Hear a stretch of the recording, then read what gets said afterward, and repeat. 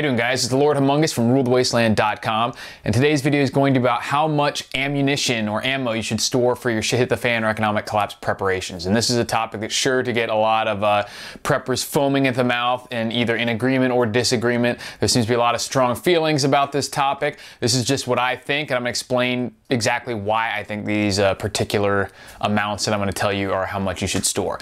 But first, I'm going to explain that you should probably go back and watch my previous videos or podcast on exactly explaining exactly why you should be preparing or finding out why you're preparing and having a prepping mission statement in that podcast because that guides not just how much ammunition you store, but how much of anything else you store and why you're storing it. Because if you just have this idea in your head that, oh, I'm going to be prepared without really knowing what that means, at least to you, then you're not going to know when you have enough of anything. And it's probably never going to feel like you have enough of anything, including ammunition, because you could always envision a scenario where you're going to need more, however ridiculous that scenario might be. Uh, might be.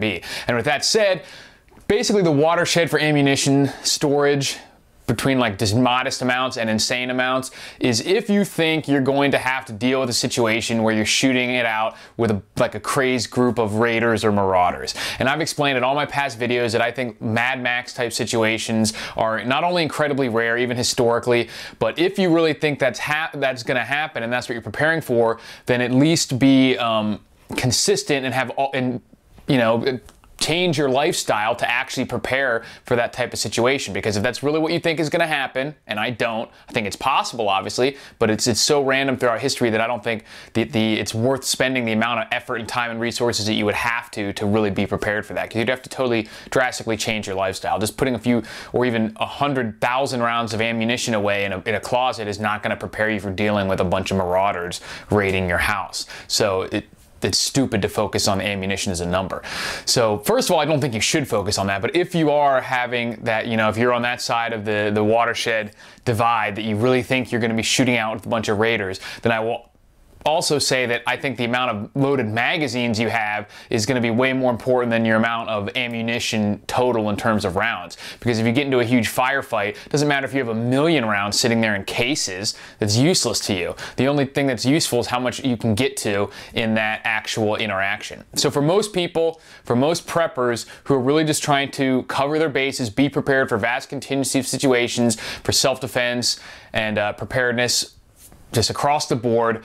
I think 500 to 1,000 rounds for your main weapons will cover 95 to 99% of all possible situations where you would need to use those weapons. And I would have probably three, four, five, or six magazines for each of those weapons loaded and ready to go in a way that you can access them quickly and effectively. Because like I was just said, you know, beyond that, the amount of ammo you really have is sort of irrelevant for any individual exchange because you'd have to reload your magazines.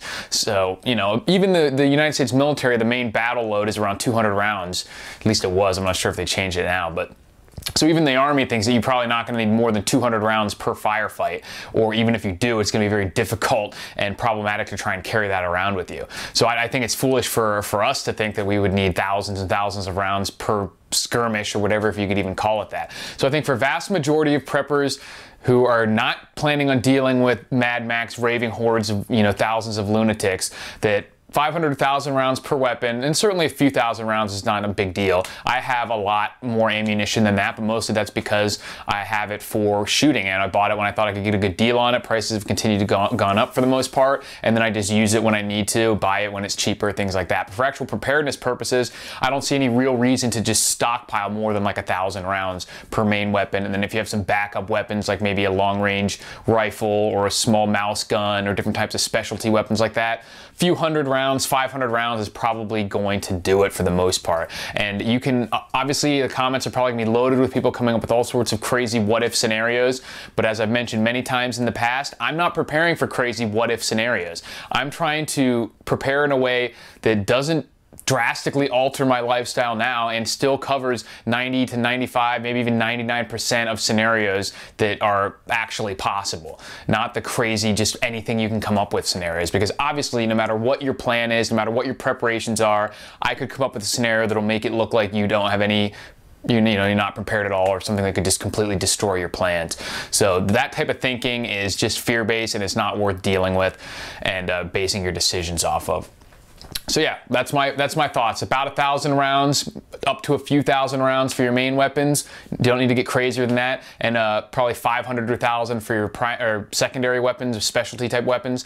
The exception that I would make is for 22 long rifle. It's very easy, even in just one simple box, to store maybe 10 or 20,000 rounds, and that can be your backup plan. If you really not feel comfortable with only a thousand rounds for each weapon, then get a few thousand 10,000, 50,000 rounds of 22 ammo. You'll be able to store it without taking up a lot of space. You'll be able to store it without taking up a lot of money because it's still the cheapest of the ammunition out there. And while it's not as effective as a bunch of the other weapons, it's still entirely effective for hunting, for self-defense, for a bunch of other stuff. It can still be used that way, so you can get rid of that that kind of nagging feeling of, oh, I don't have enough ammunition by just stockpiling a bunch of 22 long rifle. Won't take all your money, won't take all your space, and uh, you can still cover the bases for those contingency plans that maybe you end up needing a lot more ammunition for some reason and you somehow survive all these encounters.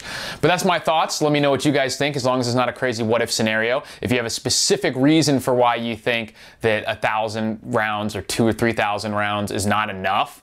I would love to hear it because I don't know of any situa survival situation where people have expended, you know, in not in military situations, but just in a normal survival situation, have expended thousands and thousands of rounds and in like a, a shit hit the fan or economic collapse scenario. This doesn't happen really.